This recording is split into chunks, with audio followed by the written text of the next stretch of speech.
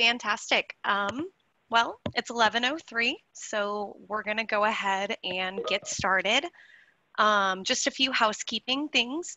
Um, at the bottom of the screen, there's a Q&A button for all of our participants to use.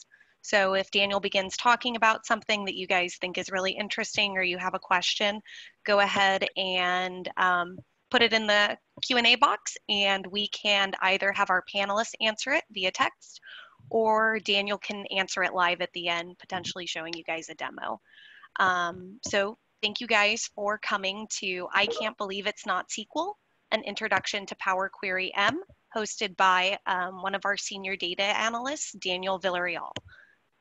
So a little bit of background on Iron Edge before we get started is that we are a managed services and Power BI consulting firm located in Houston, Texas, with an office in San Antonio.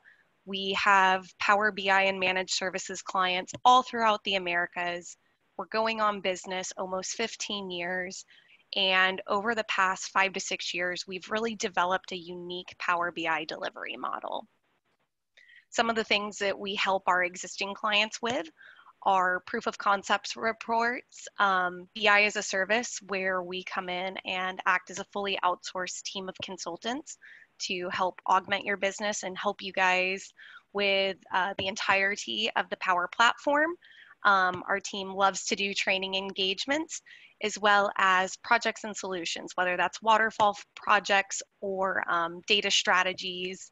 Um, so if you guys have any questions, you're looking at implementing a Power BI or Power Platform strategy for your business, um, feel free to reach out to sales at ironedgegroup.com and I'd love to get you in touch with one of our smart guys.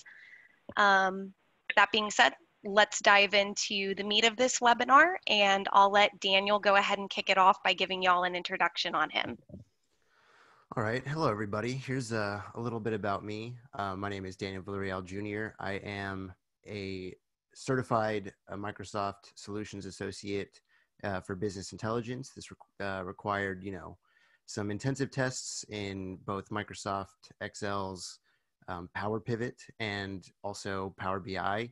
A quick little uh, note about that is if any of you out there are looking to get certified um, as well in business intelligence, I would say definitely take the Excel test first. It'll prepare you a lot better. But um, there's a lot of content in this um, presentation that will prepare you for both of those tests, especially for the Power Query side, just getting you acquainted with Power Query if you are not familiar with it. But moving on, I'm uh, one of the data analysts over at Iron Edge Group in the business intelligence department. Uh, I help organize the Houston Power BI user group, and I got my uh, education in computer information systems at um, the Uni- University of Houston.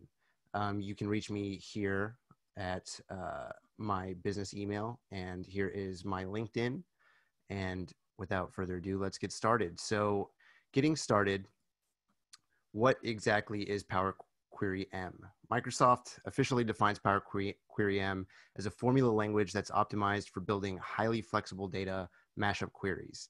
Um, you know, there's a lot of uh, wordage in there, and uh, just to break it down a little bit, it's a functional and case sensitive language, meaning that you can use Power Query to actually define practical functions to manipulate manipulate your data in ways that can leverage conditional logic, they can reference lists, and you can even define variables. If you've ever used Visual Basic for applications, it's very similar just in the sense that you're defining steps that iterate the sequence to produce a practical outcome. Um, I'd say it's very easy to learn, uh, get familiar with, but it's much, much harder to master.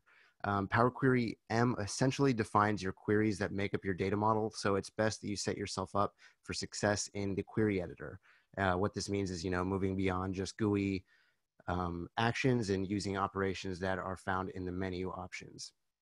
Um, so, you know, it's a, a little bit harder to master, but there's this very cool image that Greg found when studying for uh, learning Power Query M. This is the M learning curve, and it shows the percentage of problems that can be solved over time uh, as you learn Power Query M. So right here, once you have a basic familiarity, familiarity with it, um, typically you can work with the UI only, which means, you know, you use the ribbon at the top of your Power Query editor to do any of the actions while selecting columns and doing things like that. Uh, as you move on, you can sort of edit the steps that you create from the GUI using the formula bar at the top.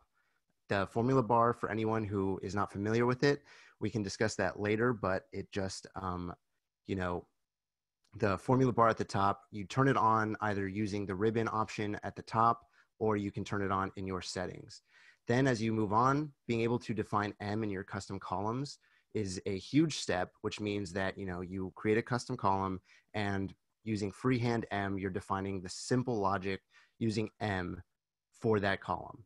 Um, as you move along, you can start using custom functions and the advanced editor and advanced iterations like list.accumulate and list.generate. These go hand in hand with some functions that kind of use a lot of logic. Um, with these list.accumulate and generates, um, you could actually potentially leverage you know outcomes of groups of rows and be able to do conditional logic on using this step if you know you have values that reach this specific threshold or use a different step um, if you are under that threshold. And finally you know being almost a master means you can just freeform code in the advanced editor. Um, i don't think many people like this exist aside from microsoft devs themselves but you know uh, just to give you a little bit of insight me and my team, we float somewhere between 80 and 95%. Um, what this means is we're very, very comfortable with defining M in our custom columns just by defining them uh, based on business rules that we hear.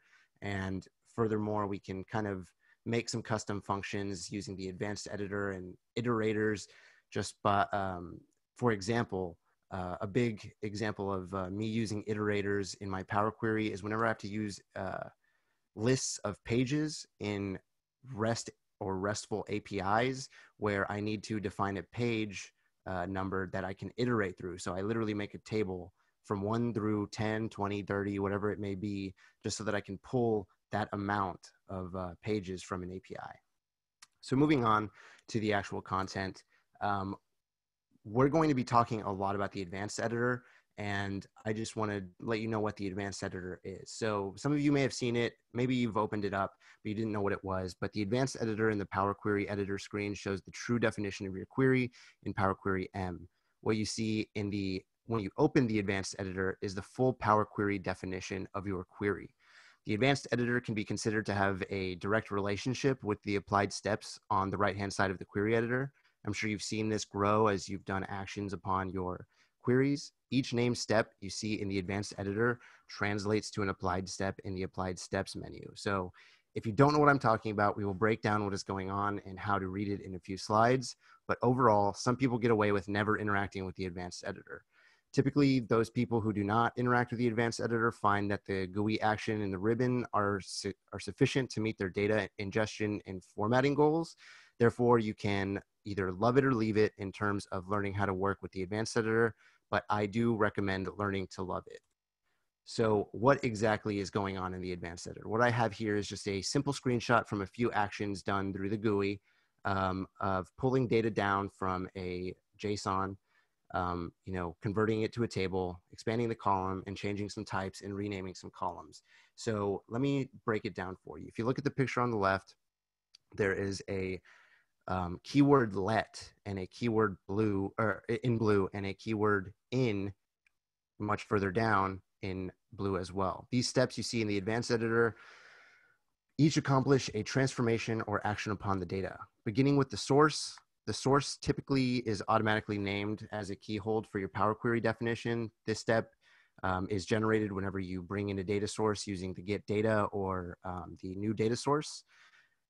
Um, it brings in the data in either a table or list format. I'm sure some of you have had to click uh, to table from list uh, in your GUI just to be able to begin working on the data. So as you act upon the data through transformations or additions, a new applied step is created. Power BI automatically names the steps based on the type of action done in that step. So finally, as you move along and you reach your last step, while acting upon the data. The step after the in keyword is your final step. So it is the step that defines your pow- your final output.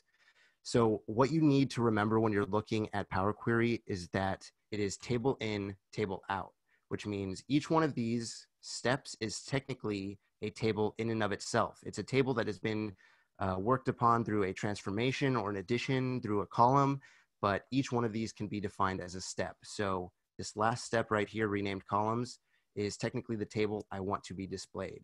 So this in keyword shows me that this is the table I'll be seeing at the end. So here's some common statements in Power Query, uh, remembering that the output of every line of M is a list or table. Um, here are some common sightings you'll see in the advanced editor. So there's table.from list. This is a function that turns a list into a table. It's extremely simple. The target of this function needs to be a list and the output is just that list defined as a table to Power Query. Very simple, um, you know, very basic. The table.transform columns, this function takes the table's column and transforms it by leveraging another function that acts upon the data specifically. So, you know, this is just a function and we need to pick a column afterwards. So I'll show you what that looks like later on. So each of these table functions does a good job at hinting at what it does. You know, uh, M is very good at self-describing in terms of its functionality. Of course, knowing these functions doesn't mean you've mastered it. Being able to write them freehand is typically a sign that you're getting close. But to be able to write Power Query, it's imperative to know how to read and understand a Power Query statement first. So let's break down a Power Query statement. So what we have here is a basic rename columns uh, step. It's uh, a step auto-generated in Power Query just by me clicking on a column name and then renaming it. So first we see the actual step name right here in red. When I double clicked on the column name and entered a new column name, this step was created immediately. So it's important to know that the pound sign right in front of the step name is only there because the step name has a space in it. This is why the source step has no single quotes or sign or pound sign in front of it. So whenever you see that source step, it's a single word with no spaces, therefore it doesn't need the pound uh, single quotes applied to it. The next thing we move on to is the step definition. Everything in this area is going to be the step definition. In this case, it is the table rename columns, which is our function that we're using. And the function call has specific parameters like any other function in any other programming language. So we have to provide the parameters in parentheses. The function rename columns needs to actually act upon a table object. And in this, in most cases, this is the previous step name that uh, we did before. So the previous step itself had an output of a table, and we are now acting upon that output table by renaming a column in it. Next, we have to actually target a column that we're changing the name of, along with the name of the new, uh, the new name of the same column. Together, all of this makes up the parameters for the function, and therefore we can semantically say, take the table defined in the change type step and rename the column area to area with kilometer squared in the parentheses. So just to reiterate, we take the table defined in change type and rename the column area to area kilometer squared. So here are some things to keep in mind when thinking about Power Query M. Um, whenever you're writing Power Query, uh, you can do line breaks and commas outside of a function call or parentheses in general mark the end of a statement meaning you know if you have a column if you have a comma placed somewhere uh, inappropriately or if you have two commas in a row outside of any fu function call where you're not skipping a parameter then you will get a syntax error you can declare local variables both inside and outside of a let call meaning you know if you wanted to define a variable, whether it's another step from another table or a variable that you've defined in your Power Query itself, you can, you know, kind of place those and kind of uh, configure them outside of your let call before you even bring them in so it doesn't interrupt the flow of your steps. You can also implement common patterns like if else statements. And a very important thing to remember is that M is case sensitive. So you can't just capitalize random letters like I have a very bad habit of doing. Um, enabling IntelliSense is extremely helpful, especially when implementing any more than basic logic or functions. If you have any questions about enabling IntelliSense, um, I think Greg, who's one of the panelists, might be able to answer that question if you just propose it. And the final most important thing to remember is that there is no undo in Power Query. All you can do is delete a step or comment it out. There's no redo or undo in Power Query at all.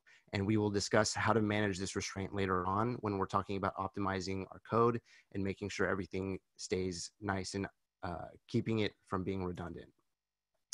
So as we revisit this anatomy of a Power Query statement, some of you may realize that this looks more familiar without having ever opened up the advanced editor. And like I had talked about before, if you have the formula bar turned on, then this scenario may seem familiar to you. Um, you have your column called area and you rename it using the ribbon. You go ahead and rename your column. Then your formula bar goes from looking like this, which is the previous step, to looking like this. This is all done with the simple action of renaming your column and it's because you've created a new step in your Power Query. However, this could be your lead into writing your own code and modifying it.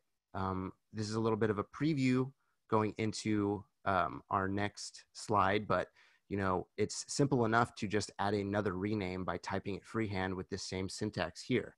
So we'll go on. Here is an example. Uh, we have a removed column step and the table remove columns. If I wanted to remove another column and I see this in my Power Query, I could actually just make a, um, I could add a comma here and just start removing more columns by targeting them. So how can we use Power Query to avoid redundant work?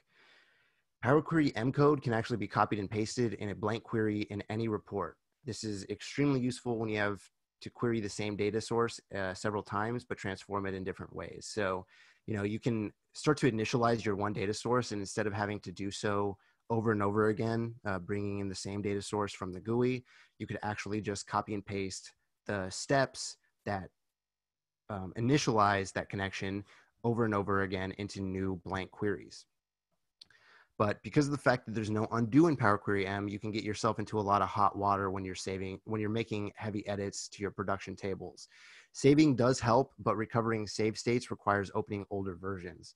To protect yourself in times of heavy editing, it is simple enough to either duplicate a query before you begin working on it or copying and pasting the code from the advanced editor into something like Notepad or any other text editor doing this simple action will actually save you a lot of headache when you have to go back to a working state in your query. I've had several times where I'm trying to turn a 30 step um, table into something closer to about 10 steps, but I mess up along the way and the code is just so heavy that I don't know where my mistake was and I need to revert back. So having that save state really does help. So you can uh, kind of what I was talking about earlier, where we can combine similar statements.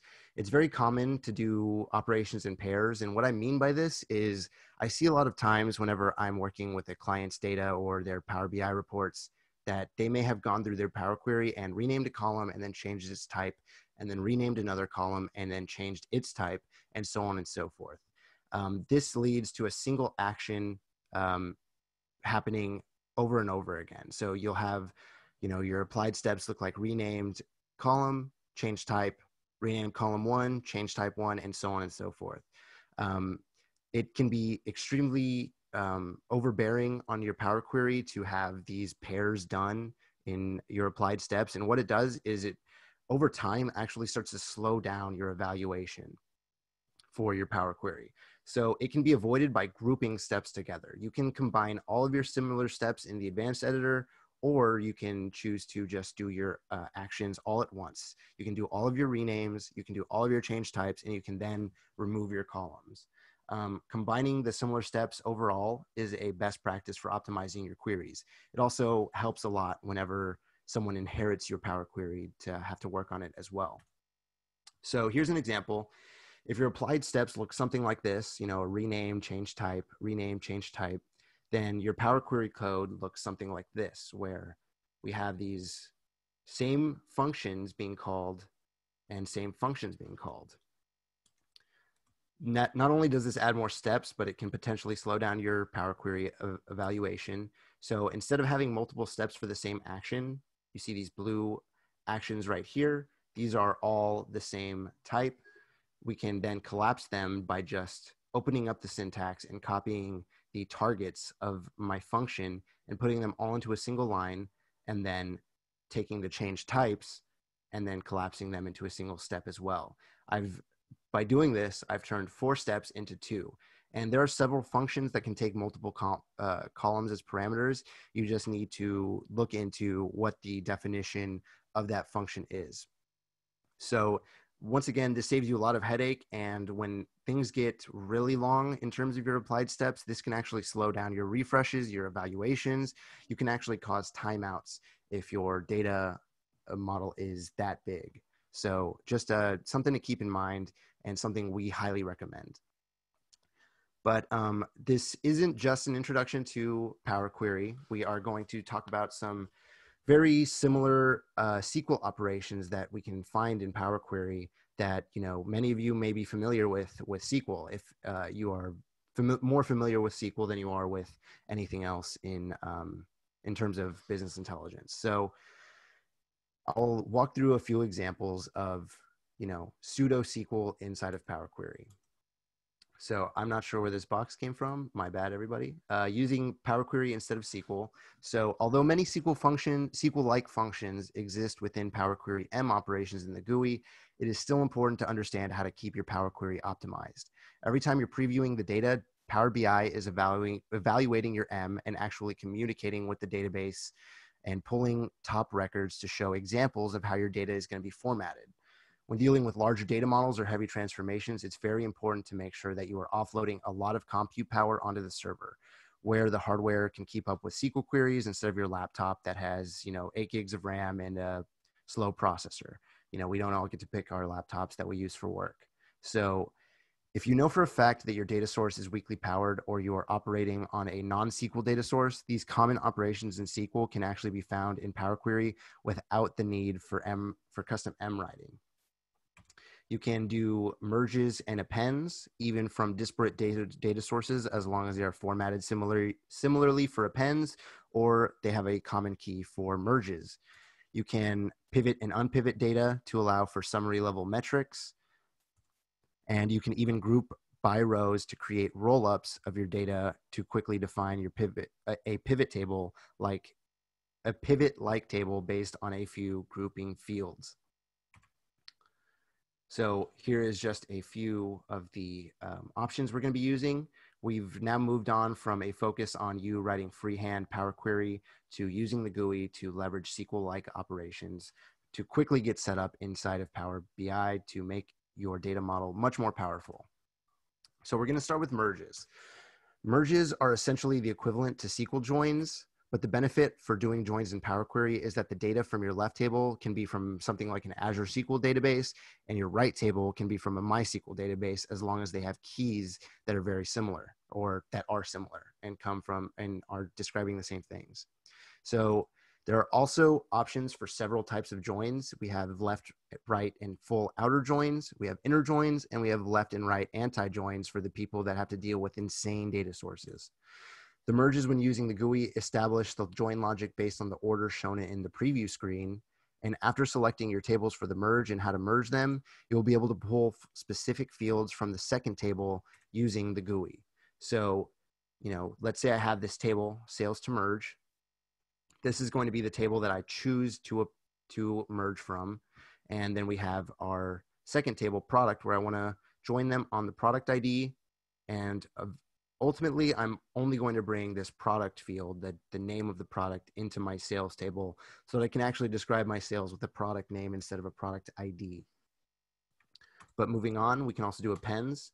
Appends are equivalent to unions in sql but they're a little bit more forgiving in a lot of aspects. You can append two or even three or more tables together it's extremely important to note, however, that the append logic is based on actual field names. So if you want a perfect union, the tables being appended must have the same number of columns with the same field names between them.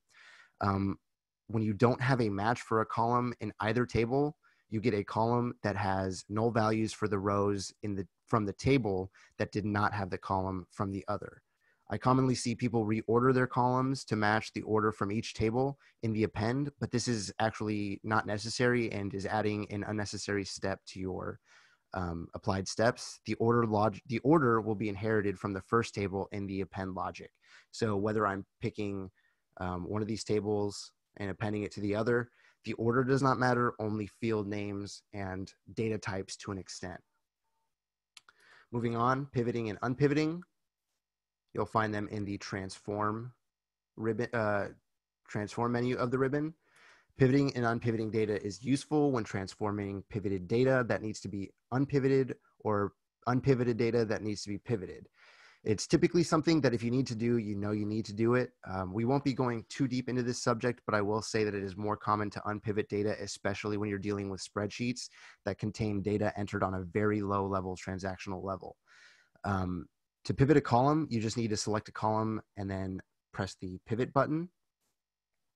And to unpivot a column, you have a few options. Um, you can either unpivot the columns you have selected, you can unpivot other columns, or specifically limit the logic to the columns you have selected. So pivoting and unpivoting, some of you may not see this. If you've ever done the Dashboard in a Day training, you, you've seen uh, kind of the forced example that Microsoft creates for it. But I will say that pivoting and unpivoting is extremely useful when you have just a mess of spreadsheets going on that someone told you to visualize. So it can be extremely useful, but for a lot of summary level metrics, I find that the group by is one of the most um, useful operations for our summary tables. Um, group by um, Although grouping is typically not recommended as Power BI operates best with granular data, this is one of the easiest ways to quickly get a summary table complete with counts, sums, averages, and even distinct mins and maxes for a single column split out into split out into two new columns. Um, I'll be going through, you know, slight demos of each if, uh, you know, the audience requests specific functionality, but feel free to ask questions to the panelists to have me highlight certain aspects as I go through this. So you know, with, with group by, I have a simple sales table. And what I want to do is take the salesperson ID and the product ID of my uh, sales table and just get the number of sales by counting the rows. Very simple. Don't even need to define a column to count. Um, just the rows in the actual table since the rows represent each row represents a sale and the total volume which is going to be the sum of the price of each one of my sales. So that's going to give me the total volume. And just by doing this, I can get a table that shows me each salesperson by product and shows me the number of sales they had for that product and the total amount, like price volume of those sales. And that's an extremely quick way to get a summary table. Um, one of the most common reasons I personally would use a summary table is for row level security, but that's a little bit um, of a different topic. And if anyone has questions about that, um, I can happily answer it. So right now, uh, we don't really have a focus on the demos. I can demo any of the specific um, SQL functions that we've had. If anyone has, uh, you know, questions about more detailed ways to accomplish merges, appends, um, group bys or even unpivots, we can go through those demos. But if not, um, we're also opening the floor to questions. So feel free to use the Q&A section or raise your hand to ask a question um, if anyone out there has anything that they're specifically curious about what we've covered, even the advanced editor or Power Query M as a whole.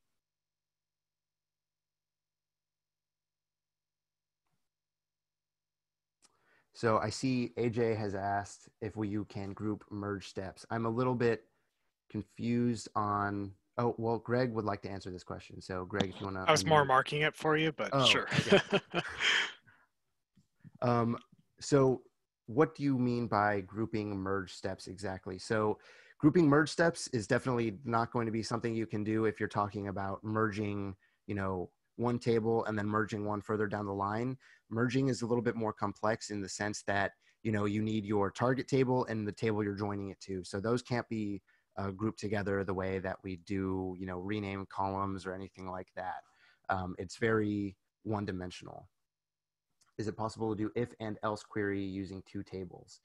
Um, Aaron, so for your question, using an if and else query, uh, I think you mean if you're able to do two different data sources and um, you know do conditional logic for a column or anything like that Um, yes, you can, but you would probably want to do a merge on the two tables first so that you can have that reference field. Otherwise, a lot of that logic may be kicked to DAX if you're trying to look at two different tables. Um, the thing about Power Query is you always want to keep in mind how much compute you're using and how much evaluation time things are going to take. So if you're doing if and else using actual queries, you know, like, um, you know, say you want to use this query in place of this one. If you know you don't mean meet certain uh, if you don't meet certain criteria, uh, that is possible, but that goes into a little bit more advanced Power Query where we're using actual functions uh, as queries. So you wouldn't necessarily create a new table by pulling two columns. You would just merge in the columns that you're doing the um, conditional logic on. And AJ, for uh, improving refresh performance, we actually have a lot of content about that. We do uh, some um, presentations about it, but overall, one thing to keep in mind uh, is that collapsing of steps is definitely a big deal, um, especially if you know we see a lot of people that work on Power Query and reorder steps to what they're doing at the time. If you ever reorder a table that isn't specifically necessary for your display layer on the front end of your report, uh, you know whether you open the data view, if you don't need that reorder steps uh, aside from your Power Query development, delete those steps because the generally the less steps you have, the better uh, in your Power Query. But you know, moving on from just the applied steps, you got to also keep in mind how much are we putting onto Power Query's actual data load? So, am I doing a merge and then doing conditional logic and then doing an append and then doing another merge? You kind of have to be a little bit um, uh, a little bit more um, informed about how you order your merges and appends. You know, do uh, is it possible to rename and change types of all of your uh, columns before you do a merge? Because if if so, then you're not referencing two different things in the memory. You may not be dealing with two different data sources that are trying to evaluate at the same time. Whether it's like an Excel spreadsheet that you're transforming heavily and then querying a SQL database to put them all together, because you almost want to think about optimizing your Power Query as if you're optimizing a SQL query because there is always going to be communication to the data source as it's evaluating each step and going further. Hey, Daniel. Um, yes. Yeah. So I, I, I wanted to add on to what you the question you were just answering and combining a little bit with the question that John is just uh, answering. That's great. Yeah, I, I don't I don't I don't think uh, you mentioned this, but just if you can control the columns that are being brought in from your source, that's one of the best ways to also to uh, to to improve your refresh uh, performance. Uh, so if it's possible to not bring in every single column, if you can do that, uh, like especially with SQL, it's an easy one to not bring in every every column into your Power Query. It'll really help with your refresh performance. Exactly, and also, uh, Greg, you you think about this a lot is the content in your actual columns as well. So mm-hmm. there have mm-hmm. been times where we queried sources that have actual email contents in them, and emails can actually really bog down your data. I mean, some of you may not ever run into this, but if you ever run into anything that carries messages or free text fields in your data, those can actually be extremely, extremely overbearing on your evaluation type. So that's something to also keep in mind is the actual content of your fields and how big is the data that you're storing. Um, John asked, um, with similar functionality in both M and SQL, what types of activities would best be performed in one or the other? So going back to what I was talking about earlier, you have to keep in mind how powerful the server that you're querying is, but also what the functionality of the data sources are. So if you if you've got two tables that you know need to be either joined or merged together it's always going to be best to do that in the sql query when bringing things in because that's going to be your source step and that is the server that you're querying that is going to be taking control of that but if you know you need to merge um, a dimensional excel table that is going to have keys or translate keys into actual descriptions and you need to have those in your tables, then it might be a good idea. Uh, then the only option you really have is to query a data source or a table in SQL and then merge it using Power Query to um, your SQL query. So if you can't accomplish merges or appends and unions inside of a database query, then doing it in M is almost required. But there are times where, you know, I will develop in Power Query M. And then as I kind of get a better picture of what I need my data to look like in Power Query, I'll start to write a SQL query that will replace all of the steps that I've done inside of Power Query and only keep the things that I know I need to do in Power Query. Um, Greg, did you want to add on to this? Yeah, yeah, I would say uh, one thing that's much that's pretty easy to do in Power in Power Query that I don't think there's performance that much of a performance advantage to do in SQL is um, conditional columns. So if you you can write uh, a, a case statement in SQL that can meet your conditional column needs, I, I my own little limited testing is that it's not really much of a performance increase and it's much harder to update and edit if you need to quickly change uh, your conditional column to say you know kind of a if this and that so i would keep that in power query versus sql just for more for your own time than than any sort of performance uh, issue and then um, i did want to add when you brought up uh, emails daniel uh, date times. So if you have a lot of, in terms of refreshing your data, if you have a lot of date time fields, especially if you're not using them, uh, you know drop them from your from your query uh, if you can. And then the otherwise uh, daniel i think you mentioned in your presentation maybe uh, splitting or maybe it was just now you mentioned splitting columns. That that's another one too. So um, you know taking your date time if you have a date time field uh, the uh, granularity of like the uniqueness of date time because it's you know if you have a million date time uh, rows, then that's basically almost a million unique values. So you, if you split them into a date column and a time column, it reduces the the cardinality and uh, makes a lot uh, faster for performance. So, yes, um, that was much better uh, for, for than my explanation. Much much more specific. Um, when pivoting the columns into rows, uh, this was from Nikhil. Um, when pivoting columns into rows, all the blanks are converted to zeros, and I'm unable to count the blank values. So Nikhil, there's actually a simple way to deal with this. Um, all of the blanks that you have, it may be a good idea to first, um, what the blanks you're actually referring to are null values, and Power Query isn't going to do anything with those null values. So what you can do is actually replace the null value with something like a flag for blanks or just the actual word blank, and then you'll be able to count those blank rows. Um, the nulls are going to be um, by design um, removed from that pivot because technically there's no usable data there. So if you just replace null values by typing null into the find box and blank into the uh, replace box, then you'll be able to actually count the times blank shows up. So that might be a little bit, um, uh, that might be a better way to um, kind of fix or, it, you know, deal with that issue. Cassandra, did you have something to add? Oh no, I didn't. Oh, I just wanted okay. to mark it as live. Oh, okay. So the anonymous attendee, I see that you asked identifying sources that move, uh, you know, an efficient way of changing the code reference.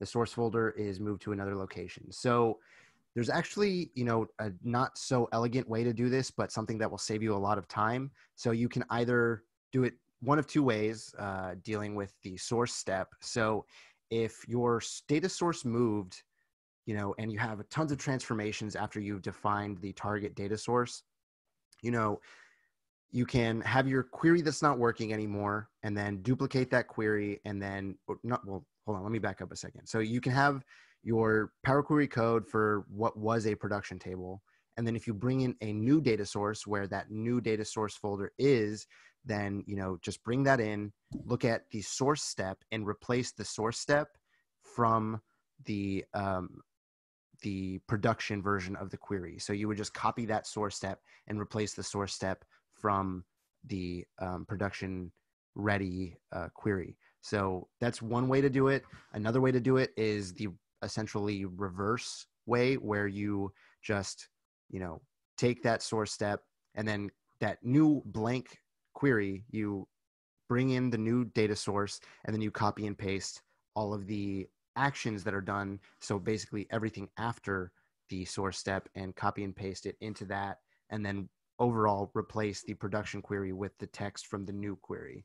Um, one thing to keep in mind about Power Query and how Power BI, you know, kind of looks at it there is the name of your query but then there's also you know some hash in the background where everything's being evaluated where there's an actual you know memory storage location for that query. So even if you bring in a new query and name it what the previous query was called they're technically not replacing it it is just a new query that isn't going to inherit the relationships on your relationship view or anything on the front end um, your measures won't act upon it or anything. So if you have two, actually, let me go ahead and kind of illustrate this a little bit better with my screen here.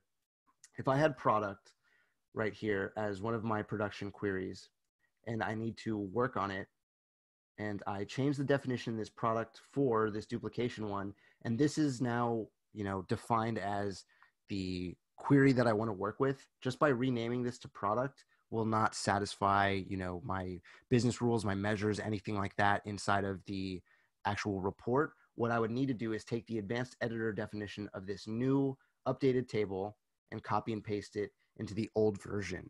So what this is going to do is actually take the place of that query without having to set up new relationships or anything like that. So that's one thing to keep in mind when you're um, moving or changing data sources um, sometimes it's as simple as changing the URL that's targeting a SharePoint folder as well, though.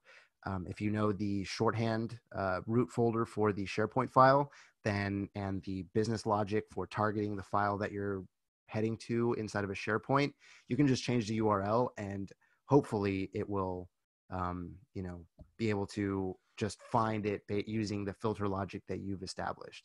So hopefully that answered your question.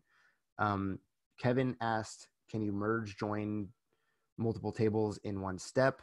So you can you you can append multiple tables in one step you cannot merge multiple tables in one step there is you know a specific join logic that needs to go on and you need to merge all of your tables one after the other you can't you know um, you can't discreetly merge multiple tables in a single step so, i would i would add daniel I, I think you could like you know put the nest the steps but uh, into one step you can nest all the functions but i don't think you're going to get much of a performance or anything else increase in that and it's just going to be a big mess no so. yeah actually i would i would wager that it would actually worsen performance if you tried to nest those functions yeah yeah so I, am very anti-nesting so yeah i don't yes. think it really helps much a follow-up question to what was mentioned a little while ago would you be able to show how you can control data columns you want to pull in with power query? So um, we might be able to show that off but essentially what we mean by that is you know if i were to connect to a database i can't really show you an example of connecting to a database since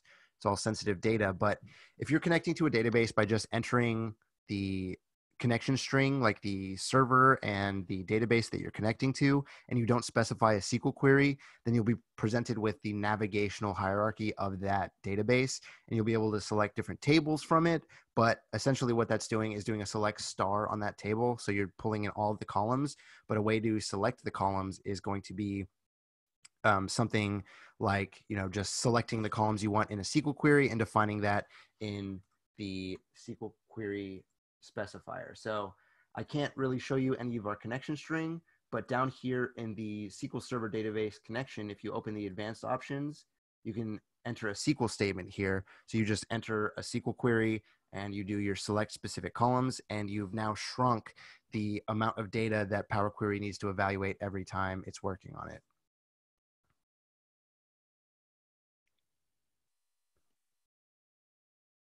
Greg, did you want to follow up Sorry, on that? Yeah, I wasn't sure if you were pausing or not.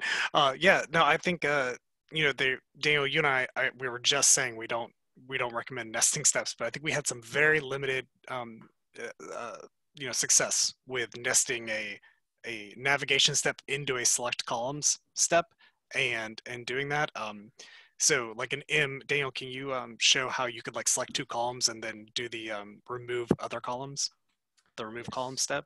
So let's say I want to make a product table and my first step is actually going to be remove other columns after highlighting these two by holding shift and selecting both of them. And I just click this remove other columns and now I've got a list of, you know, it's not extremely uh, unique yet, but I'd be able to accomplish that by filtering. But just by clicking those that those two columns and remove other columns, I've now shortened my table. And I think that helps with passing along smaller tables through the different M steps. So I think it helps in that regard. So if you are working with the data source where you can't control the columns coming in, like you just have to navigate into the table, if you put that select step early on in the process, I think it'll help with the following steps because at least you're getting rid of all the columns you don't need first. And uh, that could help with uh, with with your performance and refresh, um, and and also just makes your makes it easier for you to to work on your query.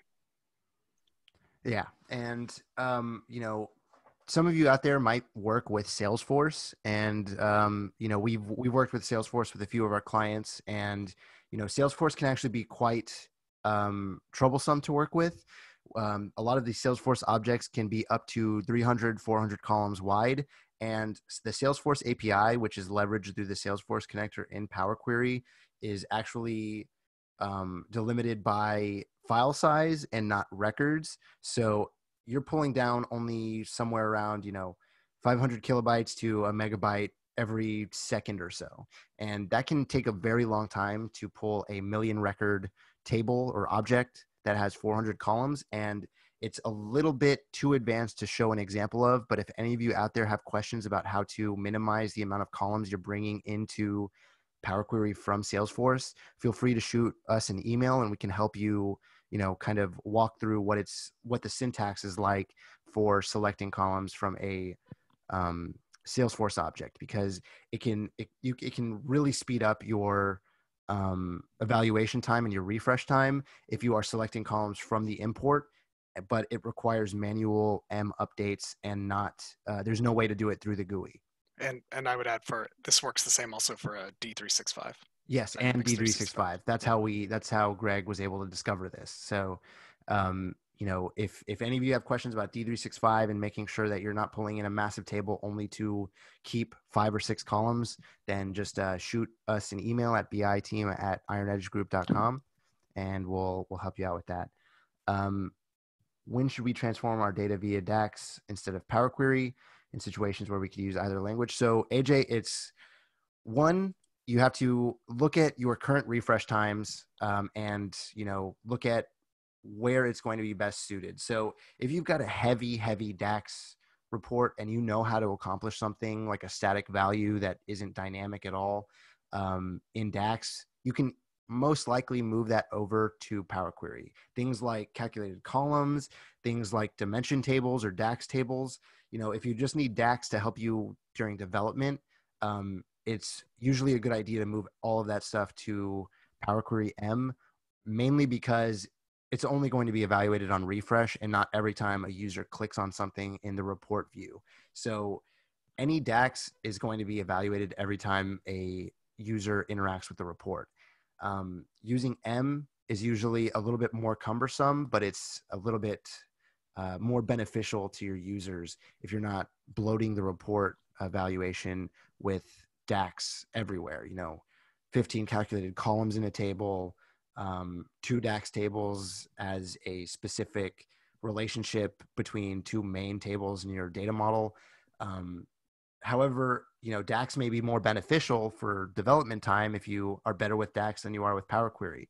If you can't seem to crack something in Power Query and you have a deadline, then of course moving things to DAX is going to be better. But once you are able to accomplish that quick step in Power Query, you're going to see um, a slightly better performance in your um, in your report, just because you're not evaluating all of this DAX every time a user interacts with the report.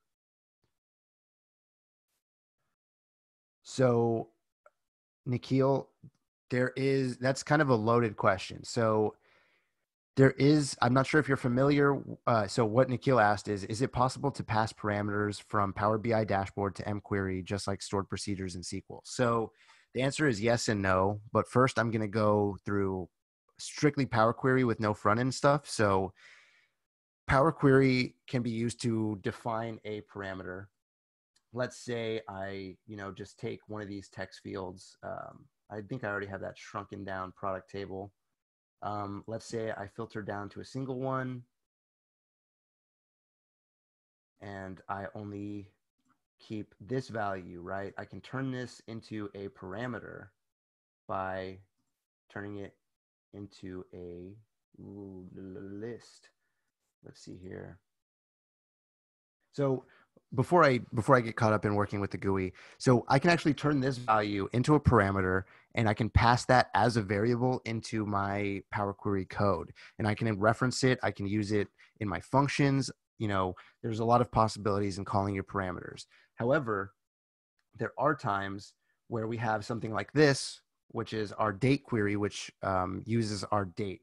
This uh, date query is a function that we can look at the definition of here really quickly. So we're defining start date as and end date as parameters, as well as the culture as an optional parameter.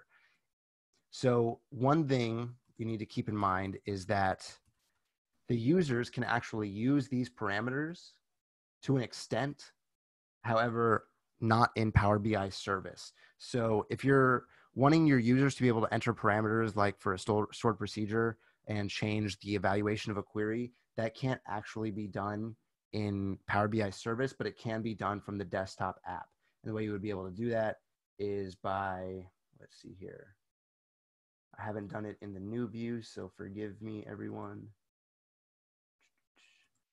There is under transform data, there is this edit parameters. If I make those parameters loaded into the front end, I can actually edit the parameters and let's say I made those start date and end dates visible to the front end, then I would be able to click this edit parameters, enter a new start date, enter a new end date, and then be able to change the evaluation of my date dimension. But once again, this is only doable within Power BI desktop and not the Power BI service. Users can't change the parameters of the data refresh since the data is refreshing automatically and being stored um, in the cloud, not necessarily being refreshed every time a user is looking at it. So, you know, there is the possibility to play with parameters and leverage them as variables within all of your Power Query queries. But overall, no, there's not really an option for allowing the users to change the parameters of your um, queries. Um, I don't see many other questions coming in. Um, is is everybody good with where we are? So, and we're gonna have this recording later. I'm sorry if George or someone else is about to say that. Uh, yeah, so this will be available. The recording will be available. I hope I spent enough time on my slides. Um, I'm not sure if we're sending out the slides as well. Um, we can go ahead and work to get that uploaded into our SlideShare system. But yep, for all the attendees, we'll be sending out a follow-up email um, and it'll have the recap of this webinar, the whole entire thing, as well as a few extra resources for you guys to utilize and obviously our contact info in case you guys have any more questions. All right. And this will this will also appear on our uh, blog, so ironedgegroup.com slash slash blog. Um, there's one other question that came in. Um, when using direct import, what's the best way to develop on a subset of data and then releasing that limit before publishing to the service? Um, so using direct query, um, you're going to have to define most of your logic in the actual C- SQL query that's being brought in because that SQL query is how data is being imported into your data model every time it gets refreshed, whether a user clicks on, a, on anything or whether a user clicks on a visualization, that's when that query gets operated on again. So the only thing you can really do in Power Query, I believe, is slightly filter date selections, but you can also do that within the SQL query as well. So I don't really recommend doing that.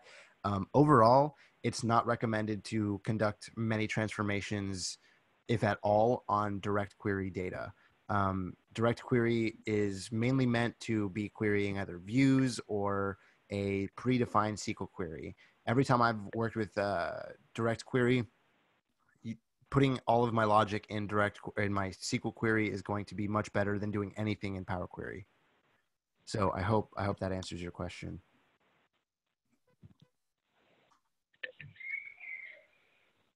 So, other than that, we do have another webinar upcoming on the 30th. It is going to be over the time intelligence slicer, and this isn't uh, the most um, you know descriptive title, but it's very exciting way to develop your uh, Power BI reports. Um, you know, there there are a lot of ways that people have tried to do switching methods uh, in their measures, but what this allows you to do uh, instead of creating multiple visualizations that describe different time slices. We've actually uh, we're going to show you a method for creating your measures and multiple measures that are being uh, used within that measure to be able to use a single visualization and a single output measure to show different time frames of data. It's um, a really really sophisticated way of developing your power bi reports that your users um, will find very easy to use, but setting it up is more so a methodology than it is a one size fits all solution, but it really steps up your Power Query, your Power BI game. So I highly recommend all of you come and check that out. Um, make sure that if you're not in Houston, uh, if you are in Houston, make sure you sign up for our Houston Power BI user group. Um, I believe we have one today. Or no, is it today or next week? next week. okay. Um, so we meet usually on the third Thursday of every month. Uh, when all of this is over, you know, we'll be meeting back at the Microsoft office every third Thursday. But for now, we've moved to virtual meetups, and you can sign up and view all that information at one of these two links. Go ahead and go to meetup.com and search Power, Houston Power BI user group, or go to the um, Houston Power BI user group um, page where you can find a lot of our actual content and past um, presentations. Yeah, and this stuff uh, shows up pretty easily on Google, so don't Yes, worry about these does. links. If you're just Google uh, uh, these uh, these results, and you'll you'll find it. and finally, the IronEdge group blog. Uh, there you'll find us posting, you know, helpful tips and tricks for Power BI, as well as a lot of information uh, regarding our managed service side of the house. Um, there's a lot of good info over there, and we like to stay on top of uh, new and exciting things, both in Power BI and IT as a whole. But other than that, I think uh, we are done here if no one else has any questions. So thank you all for joining, and uh, we hope to see you at the next one.